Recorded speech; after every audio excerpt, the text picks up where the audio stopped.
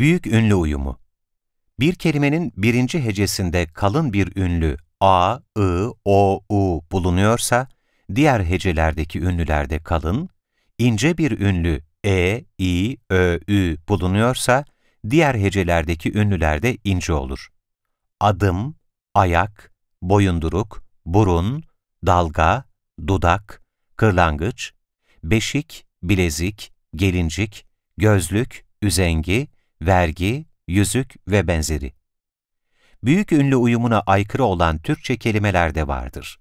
Anne, dahi, elma, hangi, hani, inanmak, kardeş, şişman ve benzeri.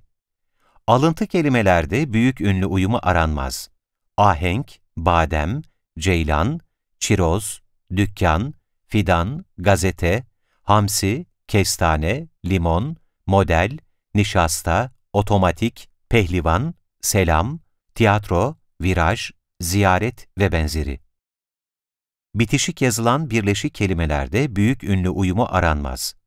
Açık göz, bilgisayar, çekyat, hanımeli ve benzeri.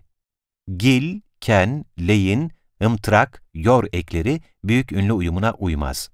Akşamleyin, baklagiller, çalışırken, ekşimtırak, yürüyor ve benzeri. Daş, taş eki bazı kelimelerde büyük ünlü uyumuna uymaz. Dindaş, gönüldaş, meslektaş, ülküdaş ve benzeri. Ki aitlik eki büyük ünlü uyumuna uymaz.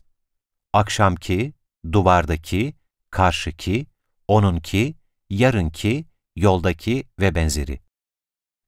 Büyük ünlü uyumuna girmeyen kelimelere gelen ekler, kalınlık incelik bakımından son hecenin ünlüsüne uyar. Adaletli, annesi, kardeşlik, meslektaşımız, şişmanlık ve benzeri. Bazı alıntı kelimelerde ekler bu uyuma girmez. İdraki, meçhule, mentolde, semboller ve benzeri.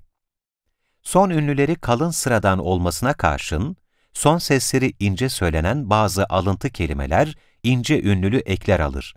Alkol, alkolü, hakikat, hakikati, helal, helalimiz, idrak, idrakimiz, kabul, kabulü, kontrol, kontrolü, protokol, protokole, saat, saate, sadakat, sadakati, santral, santraller ve benzeri.